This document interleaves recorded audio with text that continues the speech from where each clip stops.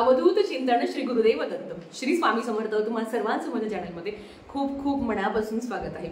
वट सावित्री पौर्णिमा आपल्या सगळ्या महिलांचा आवडतीचा सण. ह्या वर्षी एकवीस जून दोन हजार चोवीस वार शुक्रवारी आहे. आता वटसावित्रीच्या दिवशी आपल्याला पूजा कशी करायची काय नियम पाळायचे काय चुका आहे ज्या आपल्याला कराय करायच्या नाहीये त्याच्याबद्दल आपण नंतर माहिती घेऊया. आजच्या व्हिडिओमध्ये वटसावित्रीच्या दिवशी प्रत्येक सवाशणी तयार होत असते.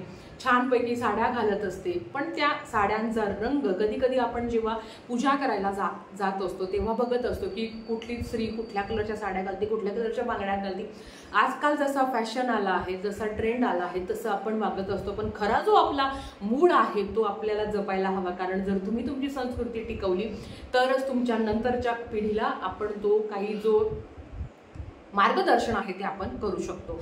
आता सगळ्यात महत्वाचं वटसावित्रीच्या दिव दिवशी पौर्णिमेचा प्रारंभ हा सकाळी सात वाजून बत्तीस मिनिटांनी सुरू होणार आहे आणि संध्याकाळी म्हणजे अवघ्या रात्री बारा वाजून सहा मिनिटांनी संपणार आहे. म्हणजे संपूर्ण दिवस आपल्याला हा सण साजरी करायचा आहे. शुक्रवार आहे अर्थात सत्यनारायण आपल्याला शुक्रवारीच करायचं आहे. आता रंग प्रत्येक रंग आपल्या हिंदू धर्मामध्ये प्रत्येक रंग काही ना काही दर्शवत असतो. लाल रंग हा शक्तीचा आहे. हिरवा रंग हा ताकतेचा आहे. त्याच्याबरोबर पांढरा हा नम्रतेचं शांततेचं प्रतीक मानलं जातं. बऱ्याच वेळा जसं मी तुम्हाला सांगितलं की काहीतरी फॅशन येत असते आणि आपण त्या कलरच्या साड्या घालत असतो आणि आजकाल तर असं झालेलं आहे की वट सावित्रीचं व्रत ही महिला बऱ्यापैकी करत नाही. तुम्हाला माहिती आहे की सत्यवान सत्यवानाला सावित्रीने ह्याच दिवशी मृत्यूच्या दारातून परत आणलेलं होतं. आपण एवढ्या श्रेष्ठ आहोत का नाही माहिती नाही.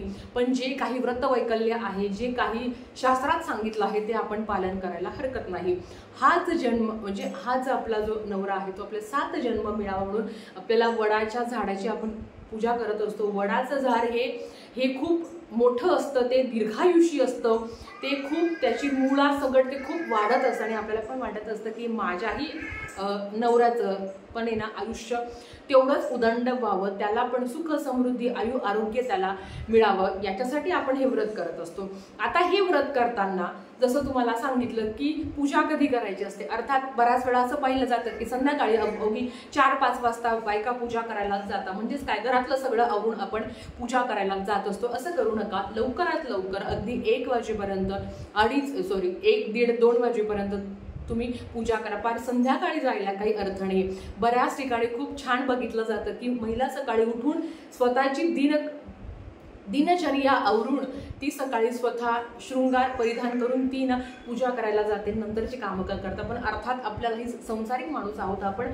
आपल्याला पण बरेच कामं असतात. पण आजच्या व्हिडिओमध्ये मी तुम्हाला एकच सांगणार आहे की कुठल्या कलरची साडी आणि कुठले वस्त्र आपल्याला घालायचे आहे कुठल्या बांगड्या घालायच्या आहे. आणि मेन म्हणजे सकाळी लवकर जाऊन पूजा आपल्याला संपूर्ण ती करायची आहे. अवघी तीन आणि चार वाजवू नका. त्याच्या आत अवघी दोनच्या आत किंवा सकाळी सातला अगदी तुम्ही केलं तरी हरकत नाही. आता जसं तुम्हाला मी रंगाचं सांगितलं की कुठल्या कलरच्या साड्या तुम्ही घालू शकता. हिरवा कलर लाल कलर लाल कलर तर अतिशय शुभ मानला जातो. तो सौभाग्यवतीचा कलर मानला जातो. आपण देवीची ओटी जेव्हा भरत असतो अर्थात आपण लाल कलरची साडी किंवा हिरव्या कलरच्या साडीने आपण देवीची ओटी भरत असतो. कारण त्या साडीने ज्या निसर्गातून जेव्हा आपण आपण पूजापाठ करत असतो त्यातून ज्या सात्विक लहरी आपल्याला मिळत असताना त्या आपल्यापर्यंत आकर्षक होण्याची ताकद त्या कलरमध्ये असते आणि तो कलर जेव्हा आपण घालत असो लाल कलर असो किंवा हिरवा कलर असो तर त्याची जी शक्ती आहे त्याच्या ज्या लहरी आलेल्या आहेत त्या आपल्यापर्यंत आणण्याचं काम तो कलर करत असतो. म्हणून लाल कलरची साडी तुम्ही अवघी घालू शकता. अतिशय सुंदर हिरव्या कलरची साडी घालू शकता. पिवळ्या कलरची नारंगी कलरची साडी तुम्ही घालू शकता. अगद्या निळ्या कलरची साडी पण तुम्ही घालू शकता. नवरात्री मधले जे नऊ रंग आहेत त्याच्या कलरची साडी तुम्ही घालू शकता. फक्त पांढऱ्या कलरची साडी मात्र घालू नका. पांढऱ्या कलरची साडी नका घालू. कारण अर्थात पांढरा कलर आपण घालत नाही. किंवा सौभाग्य वतीच्या पूजेला तो पांढरा कलर वर्ज मांडला गेलेला आहे. त्याच्याबरोबर आपण जेव्हा सोमवारचे व्रतवैकल्य करत असतो अर्थात तेव्हा आपण पांढरी साडी घालत असतो पण याच्या दिवशी म्हणजे वट सावित्रीची जेव्हा तुम्ही पूजा करायला जाल तेव्हा पांढरा कलर आणि काळा कलर. कृपया घालू नका.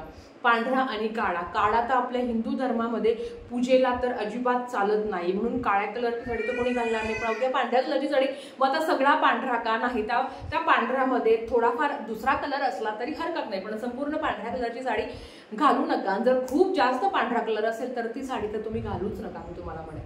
दुसऱ्या कलरची साडी जो कलर तुम्हाला सांगितला आहे त्या कलरची साडी तुम्ही घालू शकता. आणि लाल आणि हिरव्या कलरची साडीमध्ये तुम्ही उठून आपलं एक तेज येतं कधी कधी. बघा आपल्याला कोण पण म्हणत असतं की खूप रूप आलं आहे का तुला. अर्थात ज्या कलरची साडी आपण घालत असतो त्या पद्धतीने आपलं पण आपले पण ते काही जे आचार विचार आहे आपली पण जी वागणूक आहे आणि त्या कलरचा जे काही एकाग्रता आहे त्या कलरच्या ज्या लहरी आहेत त्या आपल्या मध्ये येत असतात. म्हणून सांगते की लाल लाल किंवा हिरव्या कलरची साडी आवर्जून घाला. दुसरा कुठलाही कलरची साडी घातली तरी चालेल पण हे दोन रंग अंग अतिशय महत्त्वाचे मानले जातात. त्याच्याबरोबर येतं ते बांगड्या. आता आपल्याला माहिती आहे बऱ्या वेळा असं होतं आपण की मॅचिंग साडी आली की मॅचिंग बांगड्या आल्या. अर्थात तेच करतो आपण. पण मी तुम्हाला सांगाल हिरव्या चुड्याला खूप महत्त्व आहे. तुम्ही अगदी कुठल्याही कलरची साडी घाला तुम्ही बघा लग्न कार्यात कितीही सोन्याचे दा दागिने घाला आणि जर त्या हिरवा चुडा जर तुम्ही घातला नाही तर त्या हाताला शोभा नाही घेत आणि फक्त तुम्ही त्या हिरव्या बांगड्या जरी घातल्या तरी इतका सुंदर असा कलर आपल्यामध्ये पडतो त्या बांगड्यामध्ये पडतो. आणि त्याच्यावर जर तुम्ही मेहंदी काढलेली असती त्या त्या मेहंदीच्या हातावर जेव्हा चुडा घातलेला असतो तेव्हा त्याचा कलर काहीतरी वेगळाच येतो. म्हणून अगदी तुम्ही कुठल्याही रंगाची साडी घातली तरी चालेल. पण काचेच्याच बांगड्या घाला. तुम्हाला माहिती आहे नेहमी आधीच्या काळात असं होतं की तुम्ही एक एक डझन जरी काचेच्या बांगड्या घालायच्या तर एक लाखेची बांगडी त्याच्यामध्ये असते. लाख ही तेवढीच महत्वाची मानली जाते. तुमच्याकडे जर लाखेची बांगडी असेल तर आवर्जून ती एक तरी बांगडी तुम्ही घालायला विसरू नका. आणि त्याच्याबरोबर तुम्ही लाखेची बांगडी घातल्यावर हिरवीच बांगडी घाला. तुम्ही बघा तुम्ही लाल कलरची साडी घाला आणि पूर्ण हिरवा चुडा भरलेला आहे. मध्ये जर तुमच्याकडे बांगड्या असेल सोन्याच्या त्या घालू शकता किंवा अवघ्या मोत्याच्या बांगड्या तुम्ही घालू शकता बँटेक्सच्या एग्रामच्या बांगड्या म्हणता त्या पण तुम्ही घालू शकता.